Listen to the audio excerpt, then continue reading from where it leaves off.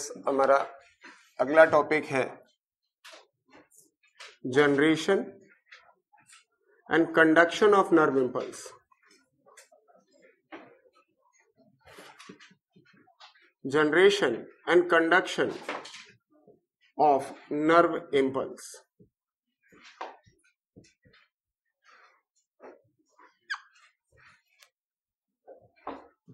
यानी impulse conduction जिसमें रास्ते में कहीं आपको सोडियम पोटेशियम पंप भी मिलेगा तो वो भी समझ पाएँगे। तो बहुत ध्यान से समझिएगा,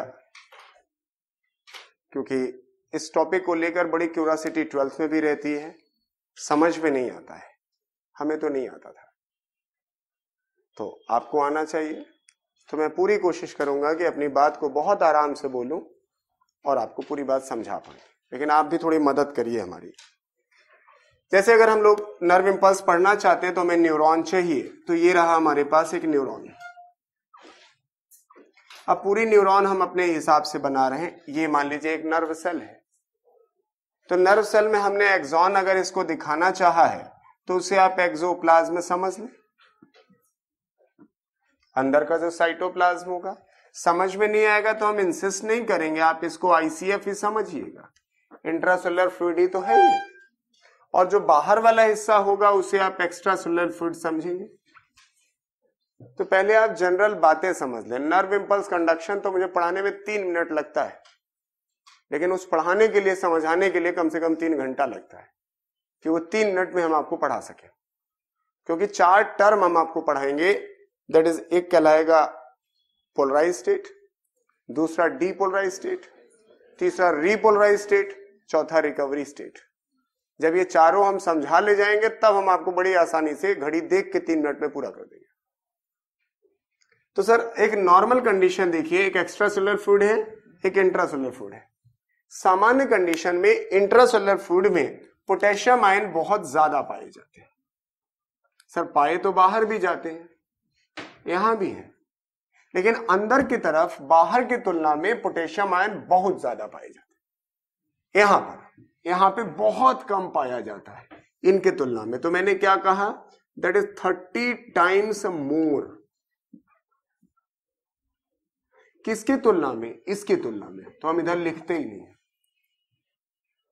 मोर लिख दिया ना तो मोर तो किसी कंपैरिजन में ही तो लिखा होगा। तो ये तीस गुना ज़्यादा होता है।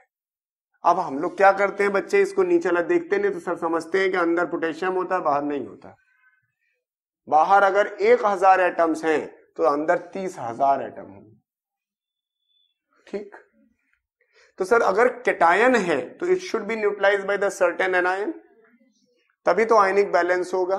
तो this potassium ion is neutralised by the negatively charge protein यहाँ पर। ये सामान्य पहले हम सेल के अंदर का आयनिक ग्रेडियंट बताना चाहते हैं।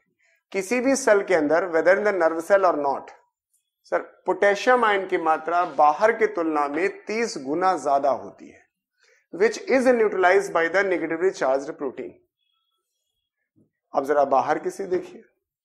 सब बाहर की तरफ़ सोडियम और क्लोराइड आयन, दोनों, अंदर की तुलना में बहुत ज़्यादा होते हैं। कितने ज़्यादा होते हैं? And that is 10 to 15 times 10 से 15 गुना ज़्यादा होते हैं। टाइम्स मोर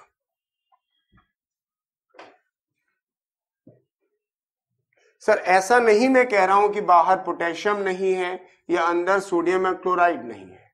लेकिन सर, ये कंपैरिजन में जब हम मोर लिखेंगे तो आपको समझ में आना चाहिए कि पोटेशियम अंदर बाहर दोनों है, अंदर कई गुना ज़्यादा है। सोडियम क्लोराइड अंदर बाहर दोनों है, लेकिन सर, वो बाहर जो है, अंदर के तुलना में कई गुना ज़्यादा है।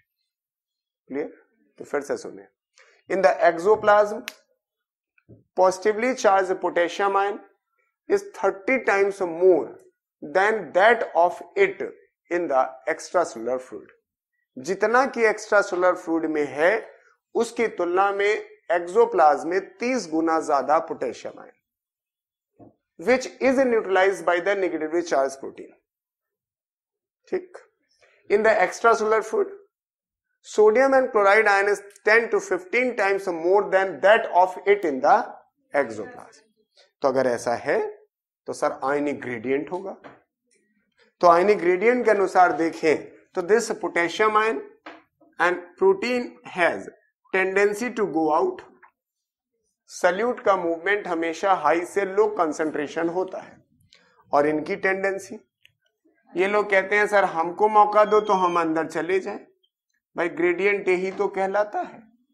ये सिर्फ़ बात हमने ग्रेडियंट के अनुसार बताई है कि this this has an tendency to come out and this has an tendency to come in इतनी बात लिखिए।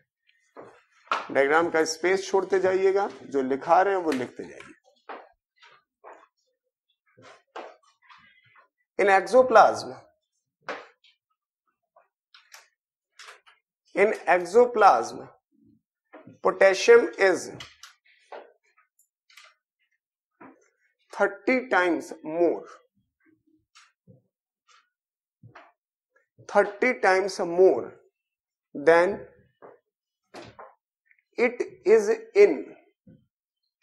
Then it is in ECF line का मतलब आया समझ में? Next in exoplasm, in exoplasm, potassium is neutralized by negative charged protein. Negative charged protein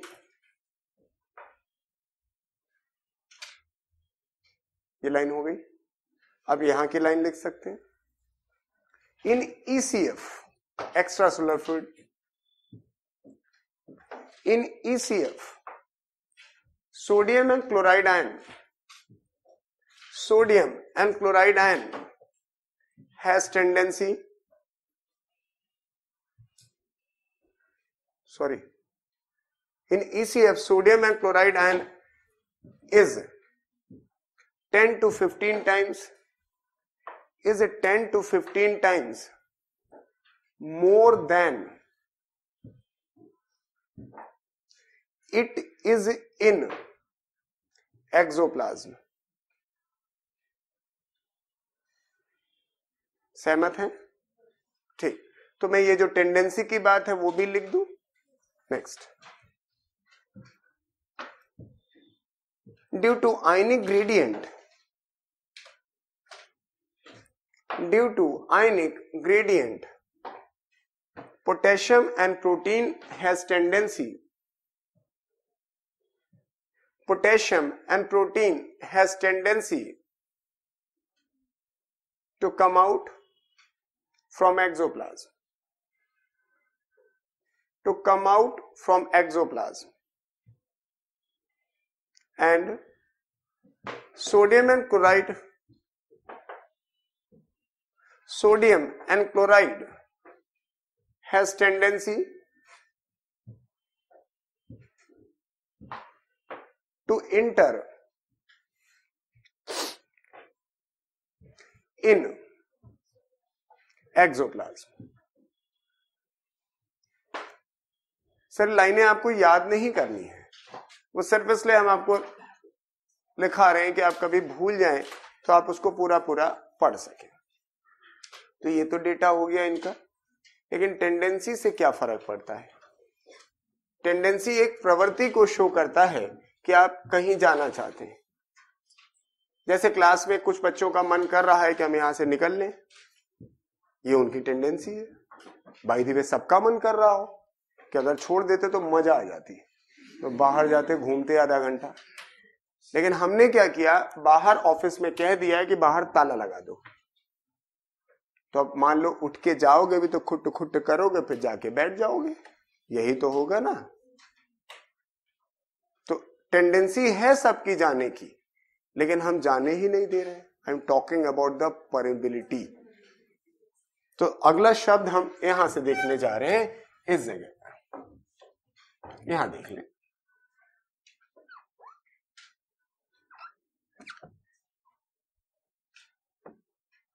तो ये हम बात करना चाहते हैं रेस्टिंग फ़ेज़ की। जब कभी रेस्टिंग कहा जाए, उसी को आप नॉर्मल फ़ेज़ समझिएगा normal condition normal condition neuron का मतलब हुआ करता है जब कोई इंपल्स ना जा रही हो। नो इंपल्स उसी को हम रेस्टिंग कहते हैं। तो रेस्टिंग कंडीशन में द परबिलिटी ऑफ़ एक्सोलेमा ये जो मेम्ब्रेन है एक्सॉन है तो इससे हम इसकी मेम्ब्रेन को एक्सोलेमा कहें। तो permeability of axolemma is much more for potassium ion and nearly impermeable for sodium ion chloride ion and proteins ना, देखिए, इसमें सबका मन कर रहा है जाने का, लेकिन मैं उनसे कह दूँ कि अब यहीं खड़े हो जाओ। सिर्फ़ बॉयज़ को अलाउ करो जाने के लिए। एक लड़की को मत यहाँ से निकलने देना। तो अगर लड़की का भी मन कर रहा है यहाँ से जाने का she is not able to go out because उनके लिए अलाउ कर ही नहीं रहा हूँ मैं डोर लेकिन कोई बॉय अगर जाना चाहे तो वो स्मूथली जा सकता है। वही बात यहाँ भी है। तो आप यही तो कहोगे यस सर ये दरवाज़ा आपने बनाया ज़रूर है but you allowed only for the boys not for the girls तो सेम हेयर इस रेस्टिंग कंडीशन में नॉर्मल कंडीशन में जब इंपल्स कंडक्शन नहीं होता है तो सर यहाँ पर एक्सोलेमा की permeability is only for the potassium ion and nearly impermeable for sodium ion chloride ion and protein तो क्या होगा? सिर्फ़ पोटेशियम ही तो बाहर जा पाएगा और तो कोई नहीं मूव कर पाएगा। या एक आध दो कोई भले मूव कर जाए, क्योंकि नियरली इम्परमेबल बोल रहा हूँ ऑन जनरल तो नहीं मूव करेगा। तो next in resting condition.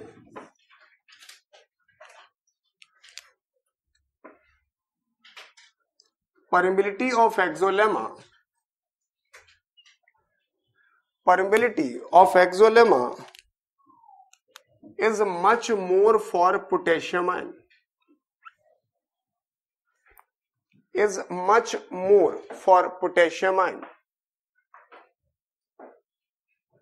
but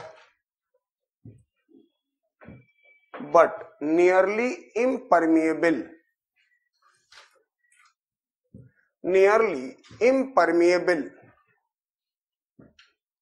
for sodium ion chloride ion and proteins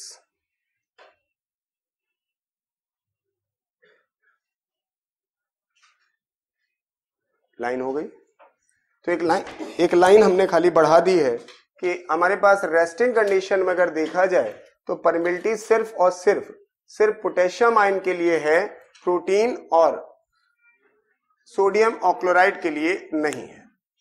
तो सर, अगर यहाँ पे देखा जाए तो ये पोटेशियम यहाँ पर था और प्रोटीन भी यहीं पर था। पहले इन्हीं को देख लीजिए। तो अगर पोटेशियम इधर मूव करेगा, मान लीजिए यहाँ से यहाँ मूव करता है तो प्रोटीन भी तो उसी के साथ मूव कर जाएगा।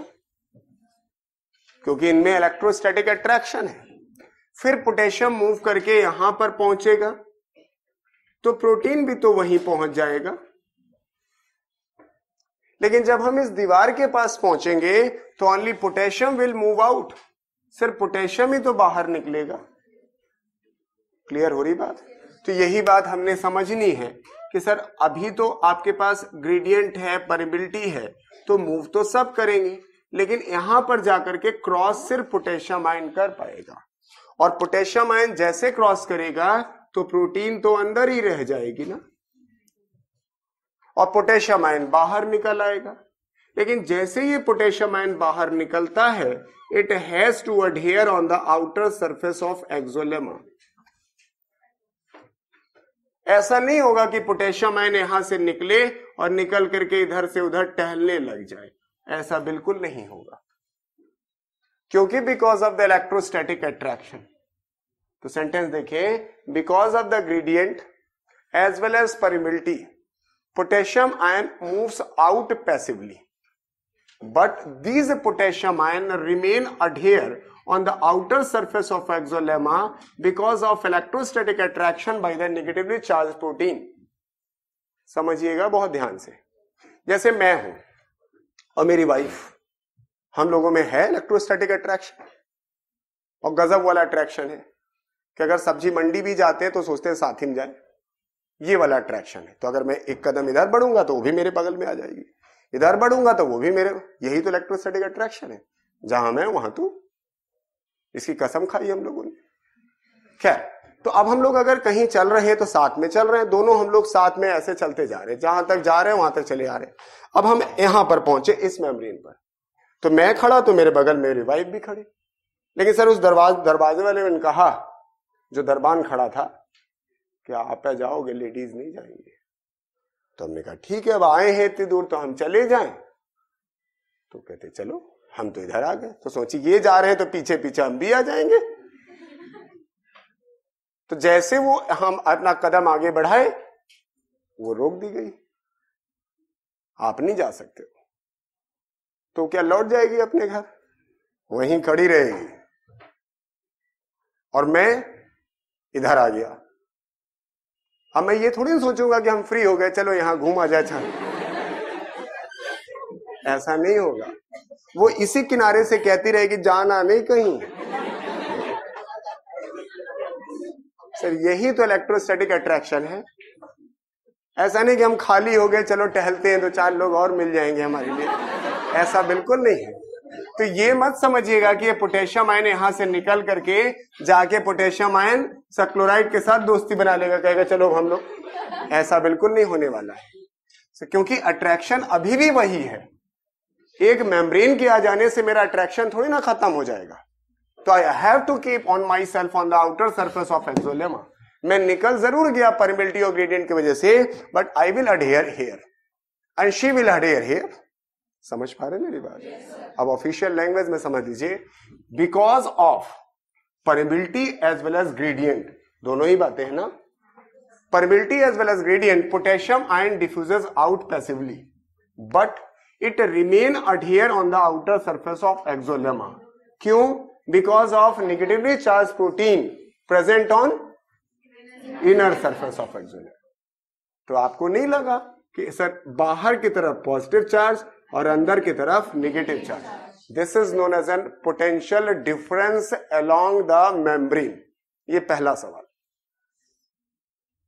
Name the ion responsible for the generation of membrane potential difference potassium ion exit of potassium ion यही बात है इतनी सी कि अब या तो रट्टा मारो, या हमारे साथ चलिए, सीखते जाइए, क्यों हम ऐसा कर रहे हैं आंसर तो next point due to due to gradient as well as permeability. Due to gradient as well as permeability. Potassium ion. Potassium ion diffuses out passively. Diffuses out passively. But adhere on outer surface of axolemma adhere on outer surface of axolemma because of negatively charged protein. Negatively charged protein present on inner surface of axolemma ठीक। Potassium बाहर आ गया, लेकिन बाहर आके जो मैंने मज़ाक में आपसे कहा, सर, उसे समझे ज़रूर। वो यहीं पर आके चिपक जाएगा। ऐसा थोड़ी ना बाहर पोटेशियम की कोई कमी है। पहले भी तो था, लेकिन वो पोटेशियम आयन यहाँ तो नहीं चिपका था तो इसलिए हमने उसको नहीं दिखाया। बोला तो कि यहाँ एक हज़ार पोटेशियम है तो यहाँ तीस हज़ार है। सर, हमें उसकी ज़रूरत है जो पोटेशियम आयन निकले और निकल के आउटर सरफेस से पीछे पक जाए, तभी तो मेम्ब्रेन पोटेंशियल डिफरेंस आएगा। अब धीरे धीरे वन बाई वन करके पोटेशियम निकलता जाएगा, प्रोटीन अंदर और पोटेशियम बाहर। That will generate the potential difference along the membrane इसी को कहते हैं मेम्ब्रेन पोटेंशियल डिफरेंस वजह एग्जिट ऑफ़ पोटेशियम है अगर पोटेशियम ना निकला होता तो क्या ऐसा होता?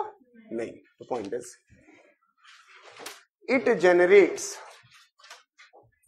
it generates potential difference potential difference along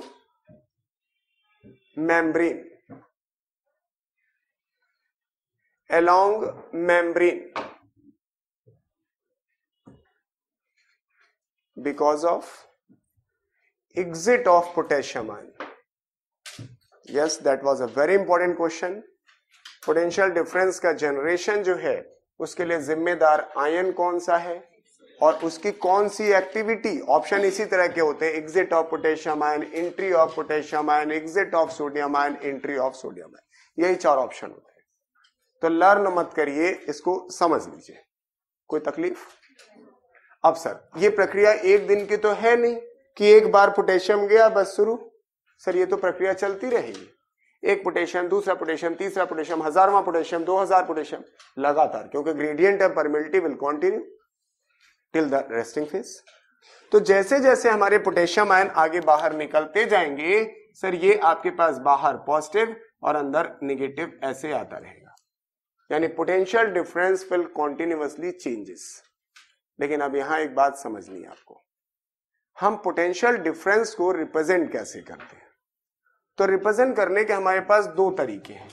एक तरीका है along outer surface of axolemma या तो आप एक्सोलेमा के आउटर सरफेस के अलोंग कहने लगिए, और या आप कहिए along inner surface of axolemma कोई भी कह सकते हैं, हमें कोई बहुत फ़र्क नहीं पड़ता, या तो इनर सरफेस पे या आउटर सरफेस पे। जैसे मान लीजिए यहाँ एक बच्ची बैठी करा इसका नाम मुझे पता है। तो मैं ये आपसे कहूँ, मैं पैसे ना बताऊँ कि मेरे पर्स में कितने पैसे इकरा के पर्स में कितने हैं। क्योंकि पता नहीं किसके पास कितने पैसे हैं बता दें इसके पास बहुत है तो रास्ते में छीन लो आप। और इसके पास बता दो, बिल्कुल नहीं है तो फिर इससे बुरा लगेगा कि आपने हमारी बेइज्जती कर दी। तो मैं पैसे नहीं बता रहा हूँ, लेकिन ये ज़रूर बता रहा हूँ there is a difference between me and Iqra has an one thousand rupees हम दोनों के बीच में एक हज़ार रुपए का अंतर है। इसमें हमारी भी इज़्ज़त बनी रही, इनकी भी बनी रही। तो अब इतनी बात अगर मैं कहूँ कि एक हज़ार का डिफरेंस है तो क्या आप जान जाओगे किसके पास ज़्यादा है? नहीं। खाली अंदाज़ा लगाओगे, सर, आप सर हो तो ज़्यादा होगा। बेटा, ऐसा थोड़ी ना हो सकता, दस बीस हज़ार ये लेकर आई हो किसी काम के लिए। भाई दिवे ऐसा भी होता है कभी कभी तो हमें ये बताना पड़ेगा डिफरेंस को लेकर, सर, या तो मेरे रिस्पेक्ट में बताइए या इनके रिस्पेक्ट में। अगर मैं कहूँ कि सच में मेरे पास एक हज़ार ज़्यादा है तो इसको कहने के मेरे दो तरीके हैं। कि Kamlesh has one thousand rupees more than that of Iqra या बोला जाए, Iqra has one thousand less than that of the Kamlesh. दोनों अल्फाज हो सकते हैं ना? डिफरेंस खाली कह देने से बात नहीं समझ में आ रही है। लेकिन हम अगर ये बताना चाहें किसके पास ज़्यादा या कम है तो या हमारी तरफ़ से होके बोलिए तो बोलोगे, कमलेश के पास एक हज़ार रुपए ज़्यादा है। और इकरा की तरफ़ से खड़े होकर बोलेंगे तो बोलेंगे, इकरा के पास एक हज़ार कम है। इसका मतलब कैसे निकालेंगे?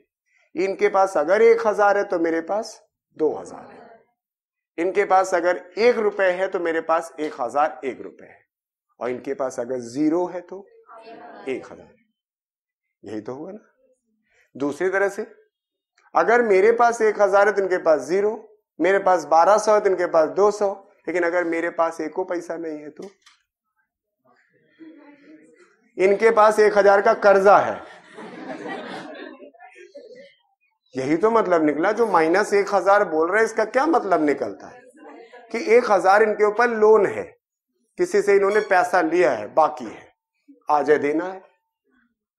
तो यही बात यहाँ भी कही जा रही है।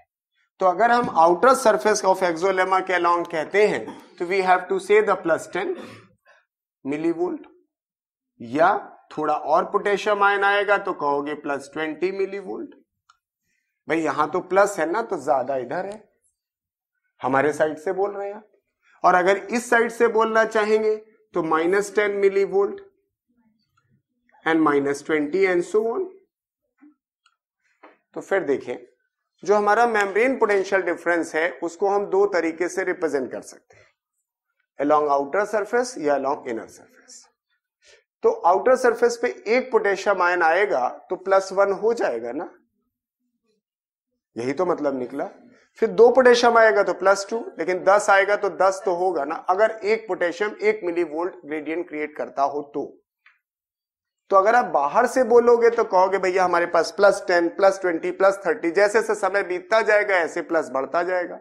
और इनकी साइड से बोलोगे तो minus ten minus twenty minus thirty and so on clear तो सही दोनों है। चाहे आप इधर से रिप्रेजेंट करो, चाहे इधर से कोई, हमको फ़र्क नहीं पड़ता। लेकिन ये बड़ा विवाद का विषय है कि जब हम कोई बात कहेंगे तो हमें बार बार बताना पड़ेगा। तो इंटरनेशनल लेवल पर एक प्रथा तय कर दी गई कि सामान्यतः जब इस टॉपिक में हम मेम्ब्रेन पोटेंशियल डिफरेंस कहें तो हम इसे लिखा करेंगे। उसे गलत नहीं कह रहे लेकिन आदत डाल लेंगे। जैसे कहीं आपको लिखा हो membrane potential difference 40 millivolt minus तो इसे समझा जाएगा अलोंग इनर सरफेस ये इसे समझा जाएगा। लेकिन अगर मान लीजिए कोई कहता है, नहीं भाई, हम तो जिद पे अड़े हैं। हम अलोंग आउटर सरफेस बोलेंगे तो हम कहेंगे, लिखो फिर आगे आउटर सरफेस तो जब आप आउटर सरफेस के अलोंग कभी मेम्ब्रेन पोटेंशियल डिफरेंस शो करोगे तो आपको स्पष्ट लिखना पड़ेगा आगे। और अगर कुछ नहीं लिखोगे तो माना जाएगा कि आपने अलोंग इनर सरफेस ही कहा है। समझ पाए मेरी बात? इसलिए अब इस टॉपिक में, इस चैप्टर में कहीं भी आप पढ़े नर्व इम्पल्स और पोटेंशियल डिफरेंस दिया हो तो वो समझा यही जाएगा। ये तब समझा जाएगा जब आगे लिख दिया जाए along outer surface of axolemma तो next membrane potential difference membrane potential difference can be represented, can be represented as, number 1 along outer surface of exolemma along outer surface of exolemma for example plus 10 plus 20 millivolt etc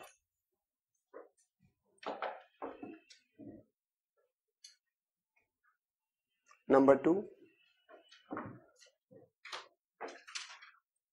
along inner surface of exolemma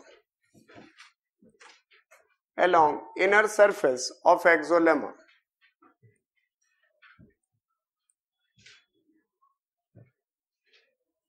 For example, minus 10 and minus 20, etc. Next, usually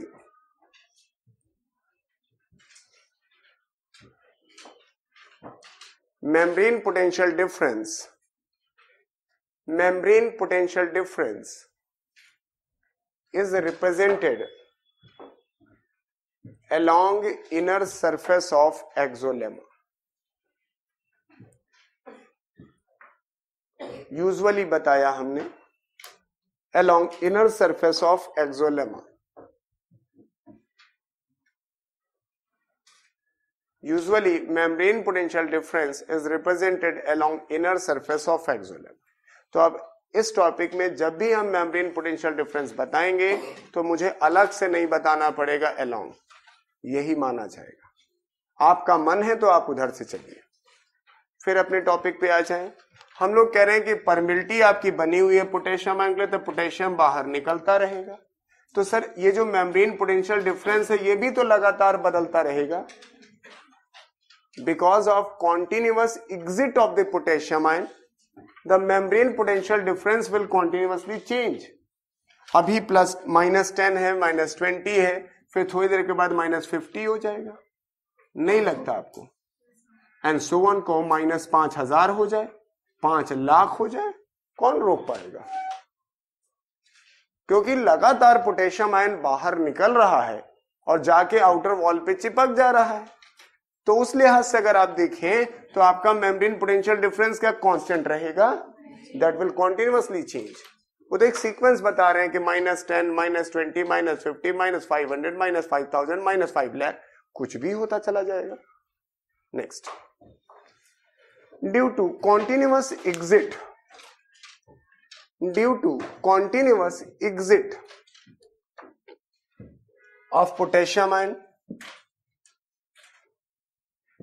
of potassium ion membrane potential difference membrane potential difference continuously changes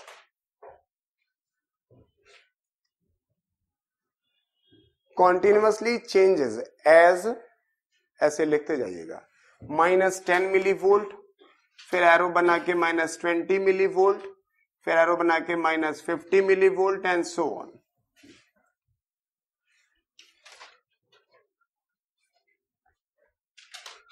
ठीक भी है, यहाँ तक कोई दिक्कत हो तो बता दे।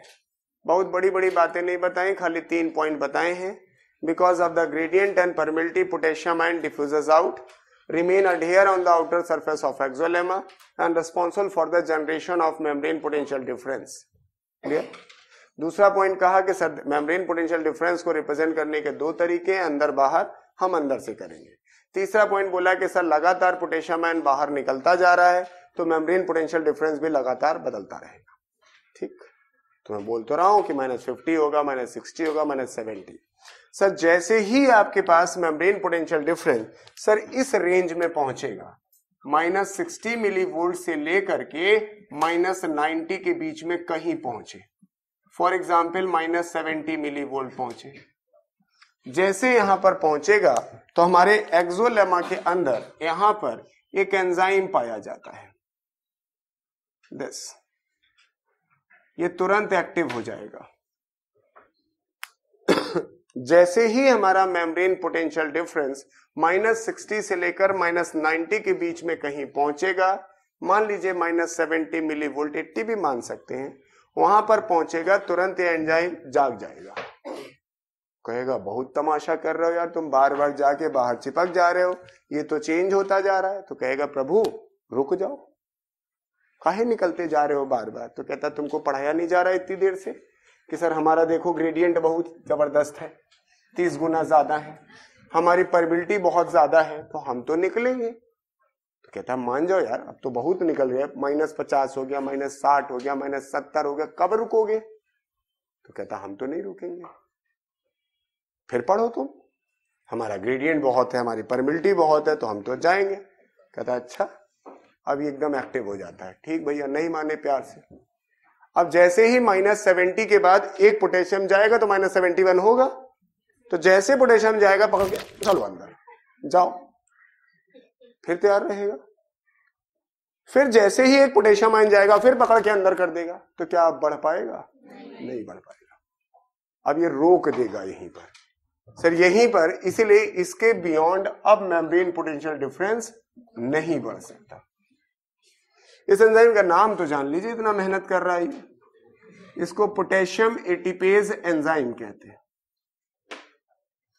एटीपेज मतलब क्यों? भाई, ये क्यों ऐसा कर रहे हैं? ज़बरदस्ती एक्टिंग थोड़ी कर रहे हैं। कि आपको फील हो it's active process against the gradient नहीं डाल रहे हो आप। तो ये यहाँ से क्या करेगा? जैसे, अब ये तो लगातार ऐसे ही बढ़ता गया। दिस ये एंजाइम इस जगह से दो पोटेशियम आयन को पिक करेगा। एक साथ। और दोनों को उठा के ढकेल देगा अंदर। अंदर की तरफ़। बाय यूटिलाइजिंग एटीपी तो क्या पोटेशियम फर्दर बढ़ पाएगा? Your membrane potential difference will remain constant sir इसी का नाम कहलाएगा आरएमपी किस स्टेट में पढ़ रहे हैं आप? तो दूसरा सवाल इंपॉर्टेंट आता है RMP is maintained because of इसका पूरा नाम नहीं लिखा है, लिख दू? इसका पूरा नाम है सोडियम पोटेशियम एटीपीज। लेकिन अभी सोडियम के बारे में पूछना नहीं कुछ। इसलिए मैं लिख नहीं रहा था। इसका नाम है सोडियम पोटेशियम एटीपीज। इसी को आप सोडियम पोटेशियम पंप भी, भी पढ़ोगे। तो पहले तो आउटलाइन जैसा बताएँ ताकि आपको फील हो भाई एक्स्ट्रा पोटेशियम की वजह से हो रहा था। तो वो एक्स्ट्रा पोटेशियम को अंदर ढकेल देगा। अब पोटेशियम आपको बढ़ता हुआ वहाँ नज़र नहीं आएगा। जब नहीं बढ़ेगा तो सर फिर कहाँ आपका पोटेशियम डिफरेंस बढ़ेगा? तो जनरेट कौन करता है? और मेंटेन कौन करता है? Sodium potassium ATPase point when membrane potential difference when membrane potential difference reaches at minus sixty millivolt to minus ninety millivolt at minus 60 millivolt to minus 90 millivolt. That is minus 70 millivolt. An enzyme becomes active. An enzyme becomes active. That is sodium potassium ATPase that is sodium potassium ATPase comma present in axolemma next sodium potassium ATPase sodium potassium ATPase picks picks का मतलब पकड़ता है extra potassium ion picks extra potassium ion from outer surface of exolemma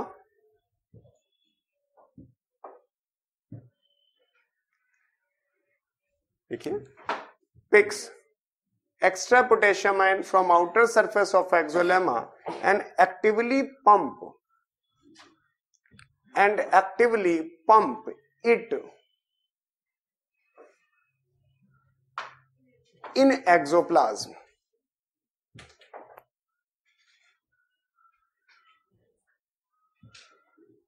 Next. It results into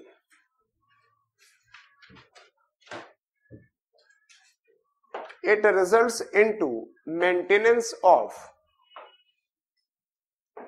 maintenance of membrane potential difference maintenance of membrane potential difference at resting phase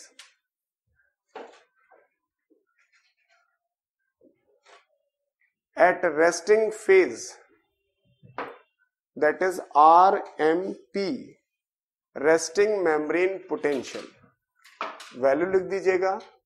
आप याद करेंगे minus seventy milli volt लेकिन अगर minus seventy ना दिया हो तो minus साठ से माइनस नब्बे के बीच में कोई भी वैल्यू चूज़ की जा सकती है। वो बारहवीं क्लास में बच्चे को रटाया जाता है कि याद करो आर एम पी माइनस सत्तर।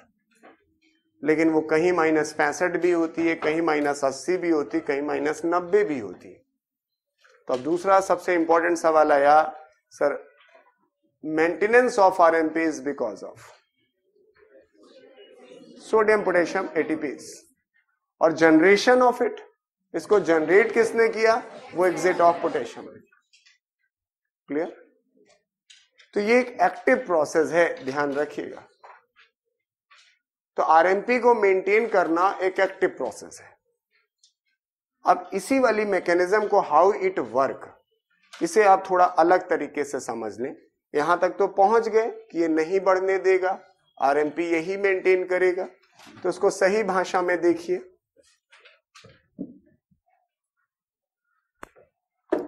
ये स्पेस है, हम आपको अब आधा ही बना के दिखाएँगे। ऐसे, आप समझ जाएँगे इधर वाला हिस्सा एक्सोप्लाज्म ठीक तो ये हमारा एक्सोप्लाज्म है। तो हम लोगों ने जो पढ़ा, वो भी इसी डायग्राम में फिर से देख सकते हैं। सर, ये पढ़ाया गया रेस्टिंग फ़ेज़ में पोटेशियम आयन बड़ी आसानी से डिफ्यूज हो जाता है। हो जाता है तो पोटेशियम आयन बाहर निकल रहा होगा, लेकिन सर, वो आउटर सरफेस ऑफ़ एक्सोलामा पे चिपक जाएगा। प्रोटीन यहाँ निगेटिव चार्ज है। इस वजह से धीरे धीरे पॉजिटिव चार्ज इकट्ठा होने लगेगा, अंदर की तरफ़ नेगेटिव चार्ज आ जाएगा। लेकिन सर, घटना यहाँ से शुरू होगी at minus seventy milli volt हम यहाँ से शुरू करें। यानी ये भी चाहेंगे माइनस सिक्सटी मिली वोल्ट से लेकर के सर माइनस नाइन्टी के बीच। कहीं भी सर, जैसे ये स्थिति आएगी, इस जगह पर सर हमारा एक एंजाइम एक्टिव हो जाएगा। गौर करिएगा काफ़ी। यहाँ पे जो एंजाइम है, उसकी शकल देख लीजिए। ये। अब आपको सोडियम पोटेशियम समझ में आने लगेगा। ये एंजाइम जिसको हम लोग नाम दे रहे हैं सोडियम पोटेशियम एटीपीज और एंजाइम जो होता है, ये वाला, सर इसमें दो सीट होती है। टू सीटर है ये।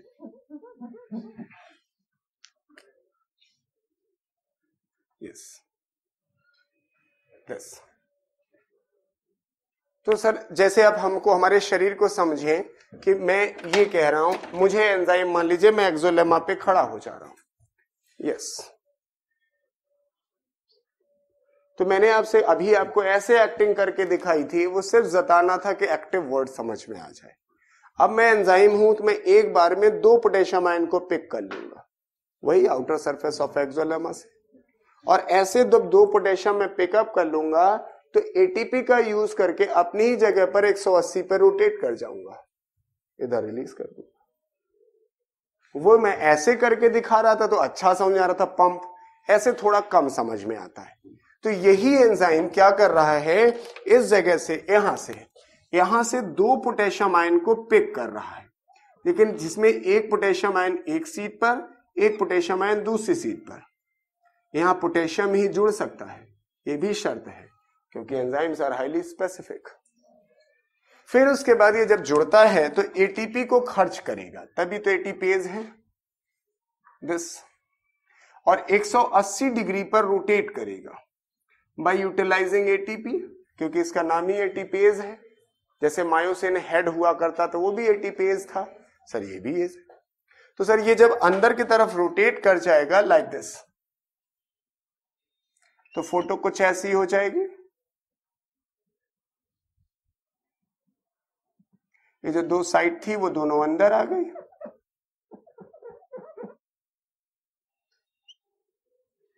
यस ये दोनों पोटेशियम आयन जो उसने बाहर वाली जगह से पिक किया, सर, उसे अंदर वाले हिस्से में उसने रिलीज़ कर दिया लाइक दिस तो सर, नतीजा तो यही हुआ ना कि हमने आउटर सरफेस ऑफ़ एक्सोलमा पे बढ़ने ही नहीं दिया। तो नहीं बढ़ने दिया, तभी तो आरएमपी हो गई।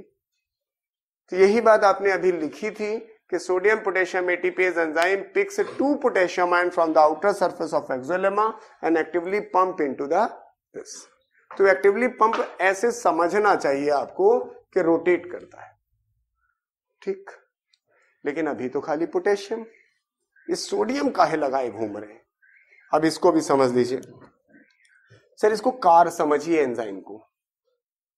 ऐसी कार जिसमें आगे दो लोग बैठ सकते हैं, पीछे तीन लोग बैठ सकते हैं।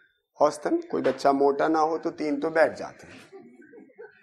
तो ये कार है। लाइक like दिस तो ये यहाँ पर आगे तो दो सीटर था, लेकिन पीछे थ्री सीटर था। लाइक like दिस ऐसे था। तो अब सर ये क्या करता है? दो पोटेशियम आयन यहाँ से पिकअप करता है और तीन सोडियम आयन एक्सोप्लाज्म से पिकअप करता है। यहाँ पे। तीन सोडियम आयन यहाँ से पिकअप करता है।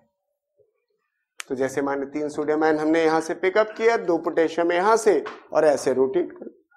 तो जब ये रोटेट कर जाएगा तो तीन के तीनों सोडियम आयन जो हैं, वो बाहर आ जाएँगे।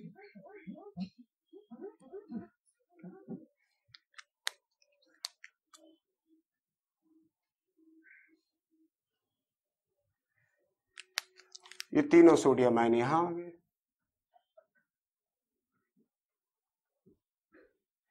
लेकिन ये तीनों सोडियम आयन फिर जा करके ईसीएफ e का पार्ट हो जाते, कभी आउटर सरफेस ऑफ़ एक्सोलेमा पे नहीं रुकते। अब यही छोटा सा टॉपिक पढ़ा कि ट्वेल्थ में खूब डराया जाता है सोडियम पोटेशियम पंप लड़का सोचता है, ये पता नहीं कौन सी चीज़ पढ़ा रहे हो आप? जबकि सिंपल सा फिनोमिना है। सोडियम पोटेशियम पंप को आप खाली पोटेशियम पंप समझिए। ये तो ज़बरदस्ती काम है, खाली गाड़ी जा रही, लटक लिए तीन लोग, कहीं भी चलो, उधर चले। ये इस पंप का कोई, इससे कोई बेनिफिट नहीं होने वाला सोडियम को बाहर कर देने से, ना कोई नुकसान, ना कोई बेनिफिट उनका अपना काम है, वो अपना काम कर रहे हैं दिस पोटेशियम आयन को लौटा रहे हैं। उनको सोडियम से कोई लेना देना नहीं, जगह खाली है तो आप बैठ गए तो आपको वहाँ पर पहुँचा दिया गया। और कोई प्रयोजन नहीं है, इसलिए इसको आप ज़्यादा मत सोचिए। लेकिन सोडियम पोटेशियम पंप अगर आपको समझना है तो ज़रूर कह सकते हैं कि सर दो पोटेशियम आयन के बदले में सर तीन सोडियम आयन की अदला बदली हो रही है।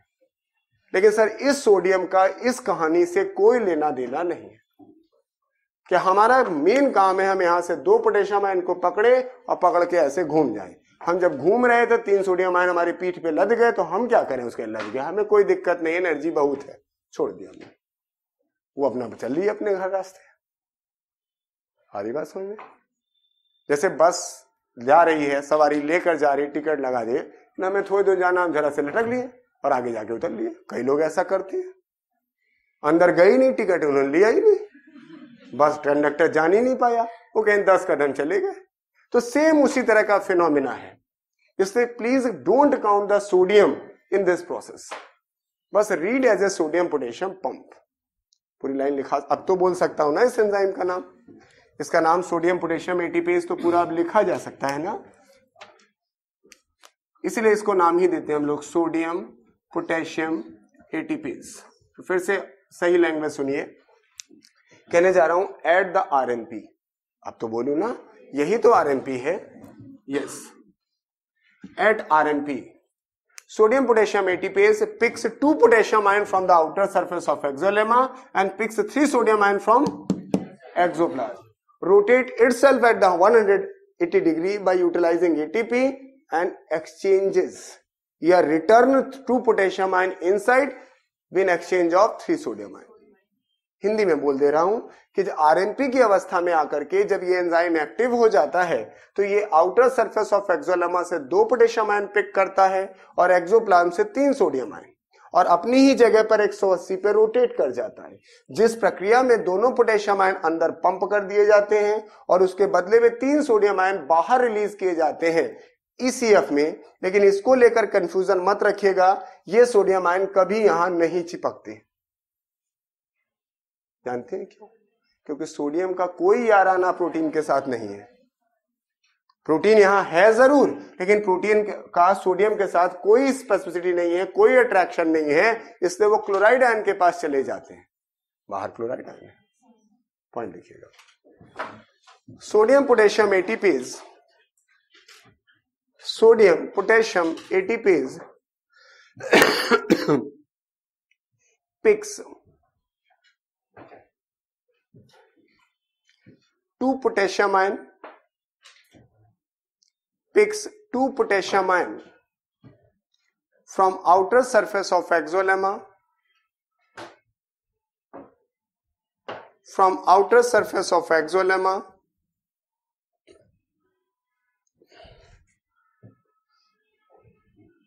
and 3 sodium ion from exoplasm and 3 sodium ion from exoplasm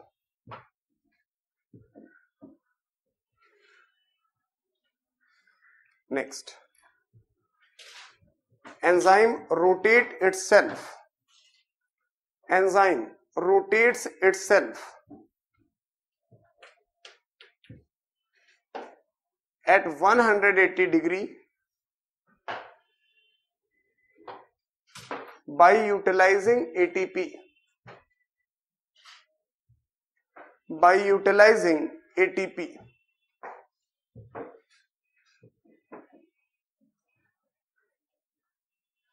Next, it results into it results into return of two potassium ion in exoplasm return of two potassium ion in exoplasm in exchange of three sodium ion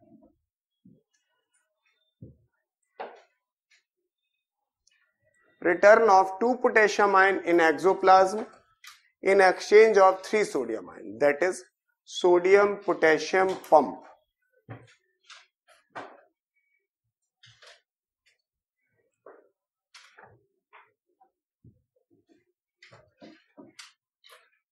clear sir ये RMP का maintain होना इसी अवस्था को हम कहते हैं polarised state अगर कोई न्यूरॉन रेस्टिंग फ़ेज़ में है, रेस्टिंग फ़ेज़ में होने का मतलब आरएमपी मेंटेन है।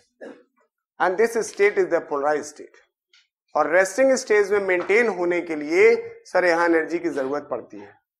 और अविश्वसनीय पॉइंट है, एक न्यूरॉन जब रेस्टिंग फ़ेज़ में मतलब काम नहीं करती है तो अपनी कुल ऊर्जा का एक बटा तीन इसी में खर्च करती है। दुनिया काम करने में ऊर्जा खर्च करती है, काम ना करने में ऊर्जा खर्च करती है। नर्व इंपल्स कंडक्शन जब आप पढ़ेंगे तो एक पैसिव प्रोसेस है, उसमें कोई ऊर्जा नहीं खर्च होती। आपको यहाँ चोट लगती है, पिन चुबोया अपने मैसेज यहाँ से यहाँ, बिना एनर्जी चला जाता है। काम नहीं करेंगे, तब ऊर्जा खर्च होगी। से काम करते रहिए। Neuron consumes the one third energy for maintaining RMP यानी नो इंपल्स कंडक्शन ये बड़ी विचित्र सी लाइन है कि इंपल्स ना कंडक्शन करने में एक बड़ा तीन ऊर्जा खर्च हो जाती है। तो next point maintenance of RMP maintenance of RMP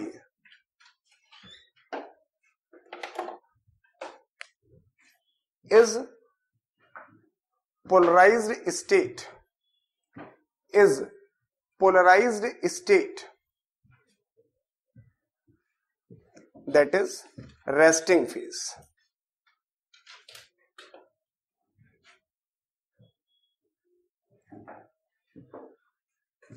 Next. Maintenance of rmp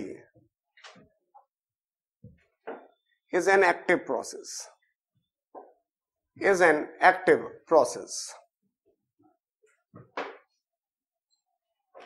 is an active process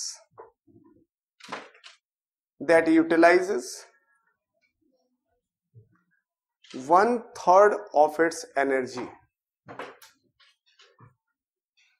that utilizes one third of its energy 35 percent तो सर पहला फ़ेज़ पूरा खत्म हुआ आपको दो तीन शब्द आने चाहिए कि सर मेम्ब्रेन पोटेंशियल क्यों जनरेट होता है और कितना जनरेट होता है? मेम्ब्रेन पोटेंशियल किधर कैसे रिप्रेजेंट किया जाता है और क्यों मेम्ब्रेन पोटेंशियल एक स्थिति के बाद आगे नहीं बढ़ पाता है? और कैसे वो हम मैकेनिज्म कर पाते हैं कि सर, उसके आगे ना बढ़ पाए और sodium potassium pump polarize state resting phase ये इतनी बातें हुई। कोई तकलीफ़ है? तो बस आज पहला फ़ेज़ ही रहेगा, इसके आगे हम लोग नेक्स्ट वाले लेक्चर में इसी के आगे यहीं से प्रोसीड करेंगे। बट इतना पढ़कर आइएगा, तभी हम आपको बेहतर आगे पढ़ा पाएँगे। भूल जाएँगे तो फिर दिक्कत होगी। ओके.